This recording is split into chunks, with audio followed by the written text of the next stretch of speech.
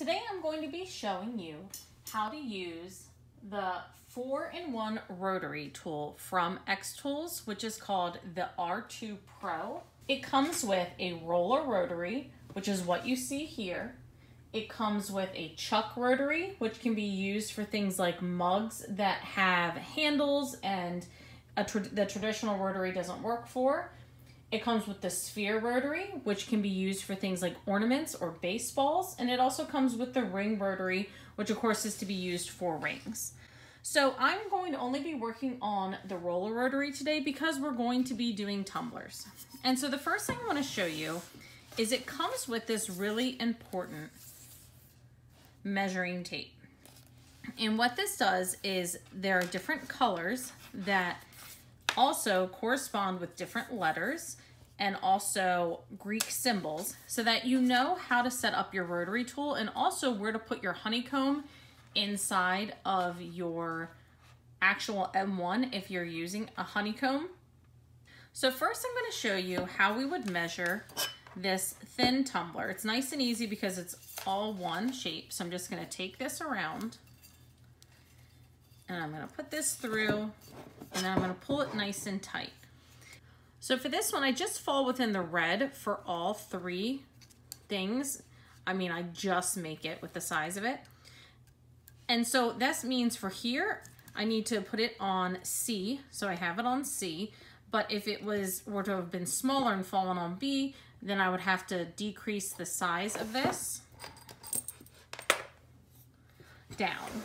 Now, if I'm doing the bigger tumbler, I'm to do the same thing. And believe it or not, this one just barely makes it, by the way. Believe it or not, this tumbler is to go also on C. So mine is set to C because that's what I needed for both of mine. So it's really easy. It comes with a screw. So this is the one I would do. I would unscrew this and I would move it over one if I needed B and this piece sits here and this would then, this piece which easily moves would just go into B. And if I needed to move it to A, I would take this and move it into A. But as you can see for this, my tumbler easy, easily fits right on here. And what's great about this flat tumbler is I don't actually have to use the second piece, but let me show you what, what I would have to do if I needed this one. So if I'm doing this tumbler, it does not stay steady. So it comes with this extra piece, which is actually really helpful. It's gonna sit right up against this. And I can move this over. And this will help so that I can make this be level. Whenever you're using the rotary tool, it's super important that everything is level. I will say my table is pretty level. I talk about this later in the video, but just make sure that your table is level before you start using this level with your rotary tool. Because if your table is not level where your M1 machine is, then this is not going to be accurate. But this will be accurate because my table is level. So I'm going to put it on here and I can see by the bubble that it, it's not level. And all I have to do is turn this dial in the correct direction until it is level. So I'm just gonna keep going up until my bubble looks to be in the middle.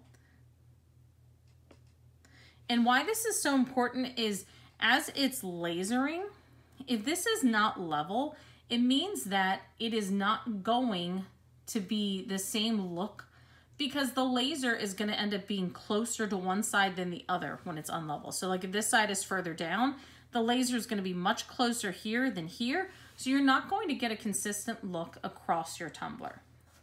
Now, when you put this in, it should auto measure, but if not, they also give you this really nice measuring tool, this ruler, that you can use for manual measuring. So, if I'm using again for my tumbler, I have, this is my main roller. It also comes with this cord, which I'm now going to show you how easily you attach this to the back of your machine. It's super easy. It plugs right in and then you're just gonna turn this until it's in the right place. And then I will show you what the rotary looks like inside of the machine with a cup on it and how we set up our program to cut on our tumblers. This is what it looks like where it goes. You just want to make sure you turn this till it's in the right place and you just twist this, tighten it. Now for putting on my honeycomb tool, I could see that I'm actually pretty close to being in beta, but I think I'm going to be down here. So we're going to try this first to see if this is the right spot. So I'm going to go ahead and stick my honeycomb in. I'm going to take out my foil that I actually have in from a previous project. Okay, so let's try this again. I'm going to go ahead and put it down here in this bottom spot. And my rotary tool is going to sit on top of that. Before you do anything with your rotary, you're gonna wanna make sure that your machine is actually level because it's really important when you're using the rotary tool that your cup is level, but your cup, you can't tell if your cup is level if your machine isn't level. So I worked back and forth to make sure that my machine is level because it really was not level because I'm working out in my garage and I'm working on a temporary table, which definitely, you know, garage is slope. You have to remember that wherever your machine is, make sure it's level before you use the rotary tool. So I'm going to be using two different cups today to engrave. I'm going to be using a Yeti cozy type of thing. And I'm also going to just be using this generic Walmart Ozark Trail tumbler. Now, for both of these, I want to make sure that my placement looks good. And I have a logo on the Yeti on both sides. So like normally I would probably just not worry so much about it and just put it where there's no logo but because it's on both sides, I really do want to try to line it up. So what I've done is I've printed my design and I'm going to just make sure that I like the size of it. And then I'm going to temporarily just put some tape to hold this down. And then I'm going to tape a frame around this. And that's going to help me with placing my design on my cup once I get it inside. And so I'll show you in a second what that looks like. Now for this cup, there is only a logo on one side, so I'm just gonna place mine kind of somewhere on the other side, wherever. And because the lid can go kind of any which way, this is a really good first cup to engrave because it really doesn't matter where my design ends up. It would only really matter if it was like kind of off center with this logo. But as long as I do it somewhere over here, then it really doesn't matter so much about the placement. And plus, this is such an inexpensive cup compared to something like this this is a really good first cup to start with if you've never used the rotary tool. So this is what I'm talking about when I talk about kind of making a grid around my design. I'm going to take this off before I place it in, but this just kind of tells me an outline of where I want to make sure my laser does not go past.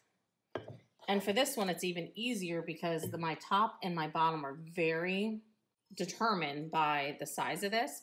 So because of it, I only put a line on either side just to make sure I stay within that when I am framing. So I placed my rotary tool on top of the honeycomb. It's okay if you don't have the honeycomb. You can just place it on your base plate. I put my honeycomb on level gamma because that is what the measuring tape told me to do.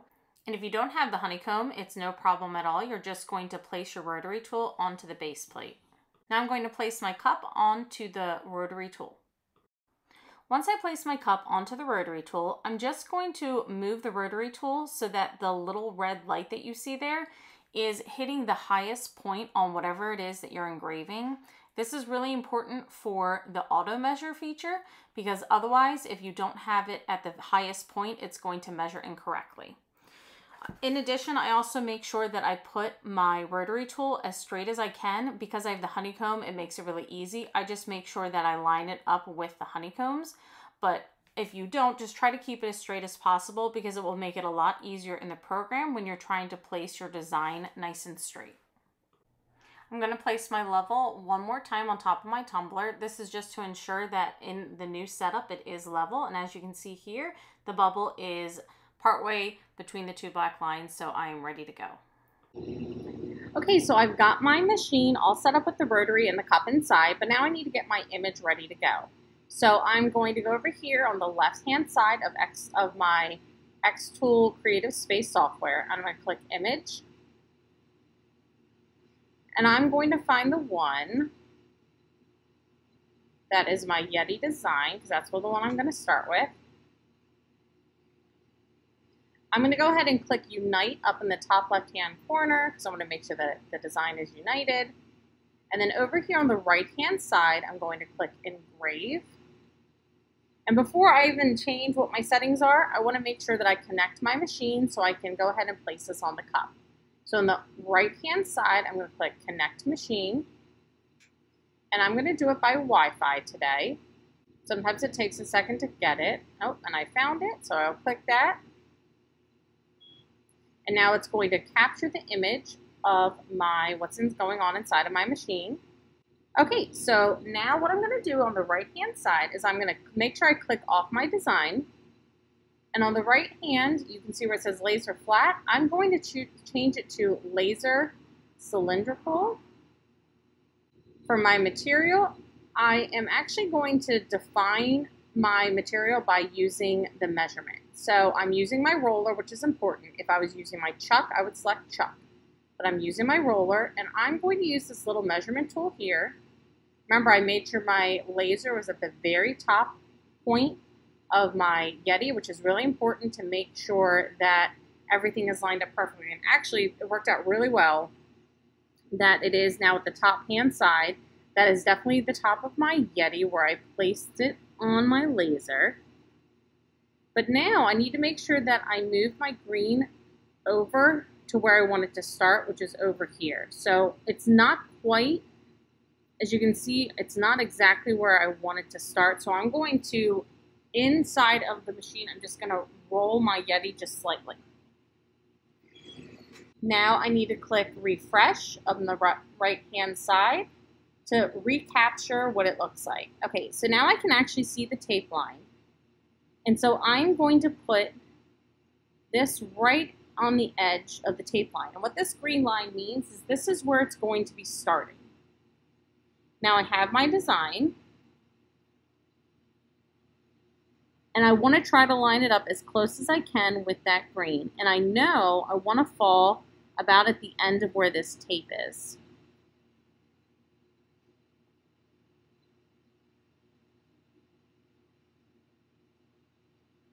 Now again, this is why it's so important to make sure that everything is even because once you have it in here, because it distorts what the actual tumbler looks like, it's really hard to tell whether or not it's level.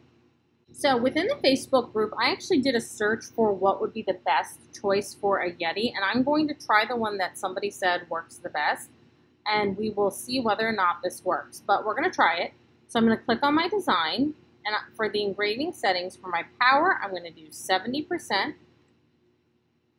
For my speed, I'm going to do 75 passes, I'm going to do one, and for lines per centimeters, I'm going to stick with 100. So I'm going to see whether or not this works, and we'll find out. So before we begin doing any sort of engraving, we want to make sure that we frame it.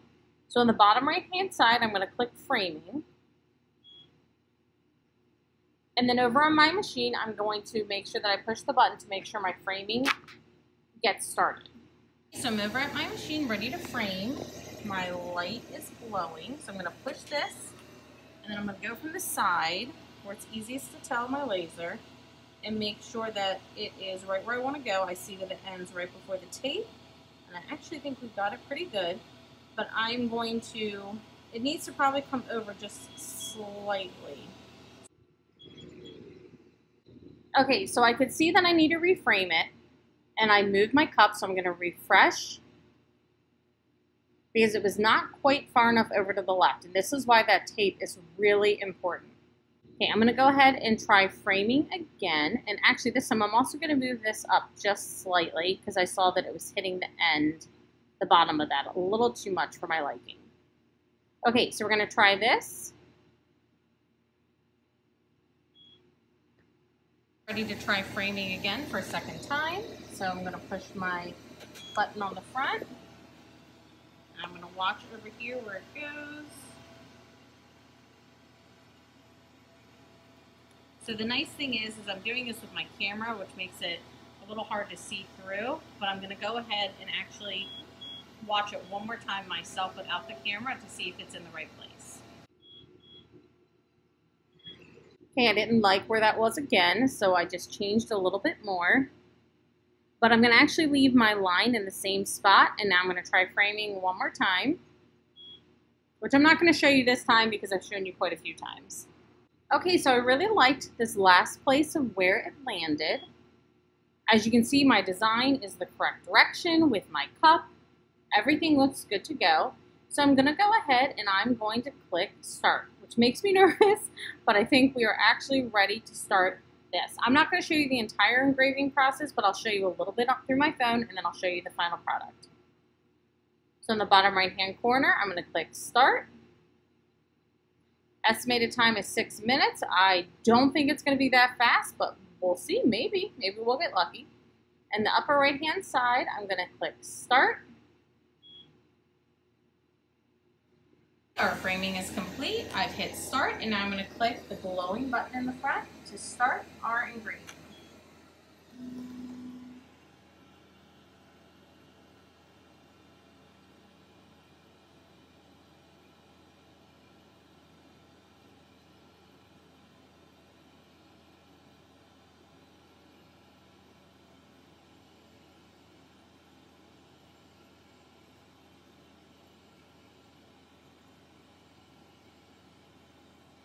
So my design is done. It took 10 minutes and 45 seconds. I can already tell I definitely messed up on my placement. That's okay. This is just a random cup for me, and it's the very first time I've ever done this. But what I need to do now is I will clean the cup, and then I will show you what the finished product looks like. And then I'm also, before we get to the cleaning of the cups, I'm going to actually go ahead and engrave my second cup and show you how you have to level one that is not perfectly level, because it's definitely a little bit trickier.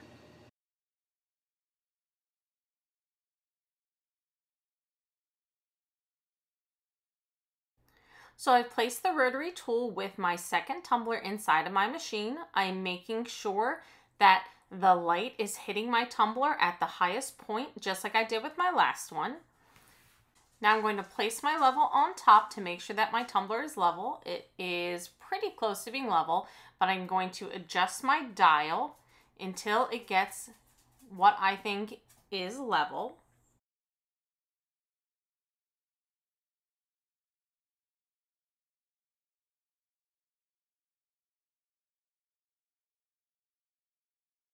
Okay, now that it's level, I'm going to show you what the screen capture looks like and get this all set up within my program. Okay, so now I'm going to start with my second cup. I need to insert that image. So I'm going to go over here to the image on the left-hand side. I'm going to find my Walmart cup design, which is this one. I'm going to go over here to the right and click Engrave. And I'm going to leave it off to the side while I go and refresh my screen. Actually, before I refresh it, I'm going to go down here from laser flat and click laser cylindrical, click refresh. Okay, so now as you can see, my cup is in a very different placement. I need to measure it because it's a different cup. From the right hand side, again, I make sure I'm on roller.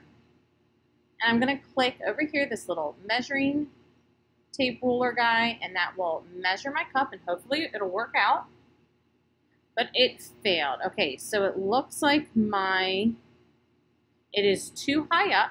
So I'm going to go ahead and click cancel, and I'm going to move out my honeycomb and have to start again. So we're going to pause this. Okay, so I have had to remove my honeycomb because it is too tall. I actually almost deleted the entire first part of my video, but decided that it would be better if you all could learn from my mistakes. So the honeycomb is too tall with this cup, so I've just placed it on the regular base plate. And I've made sure that my laser light is still hitting the highest point, and then I need to make sure I re-level it because by taking it off the honeycomb, it might have adjusted some, and I, of course it did. So I'm just going to adjust the dial until it is level, just like last time. Okay, and that looks about right. And so I'm going to show you in the program what this new setup looks like. Okay, so I'm going to refresh my screen because now that I've removed my honeycomb, it's definitely going to be in a very different position.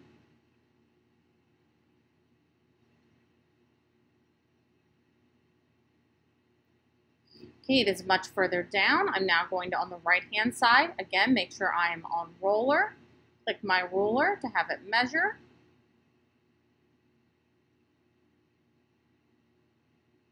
And this time it has successfully measured it. I'm going to want to move my green. I want it to start, oh, actually, now that it's upside down, oh, I need to come over here. So I'm going to have to roll my cup to get it as far close to the left other tape.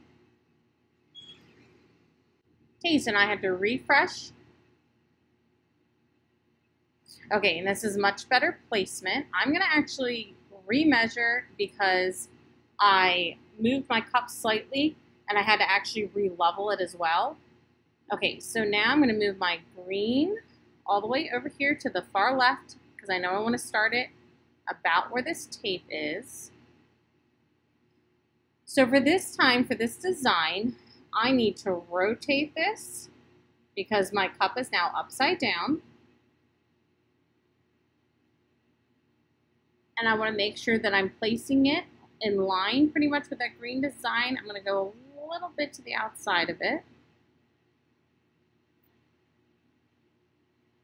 Now it's hard for me to tell this time whether or not my cup again is at an angle or not. I try to make it as straight as I could within the machine. As you can see on the right hand side that that line looks pretty straight over here. So I'm hoping that, let's see if I can, okay, so I'm going to do framing to see if this looks like it's right. So on the bottom right hand side, I'm going to click framing. Okay, so I'm going to push my button to do framing. It's hard to tell where it's framing, so I'm actually not sure I can really capture it on video due to the current lighting in my garage. I can already tell that it is not in the correct spot because it is hitting the metal at the top. So I've got to move my design down again and try again.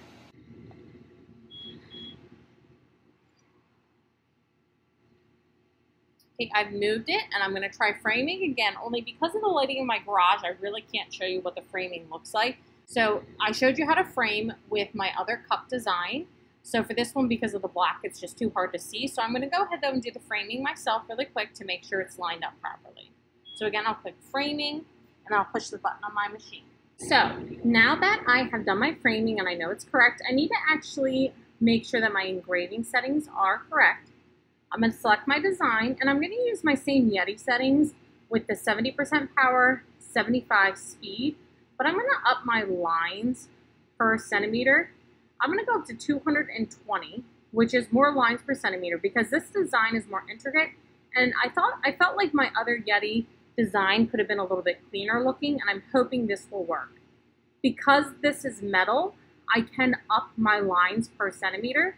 If this was wood, upping the lines to that much per centimeter could result in honestly causing a fire. But because this is metal, I'm not as worried about this being flammable and catching on fire. So we're going to go ahead. So I'm going to click start. I'm going to show you just a quick sec, a few seconds of it engraving, and then I will come back and show you the final product. So I'll click start in the bottom right hand corner. As you can see, my design is upside down like I'd like it to be. It's estimating that it'll take 11 minutes. My guess is it'll be closer to probably more like 15. So I'm to click start in the upper right hand corner my machine. I've got my cup ready. It is glowing. I'm going to push the button to start. And it's going to start.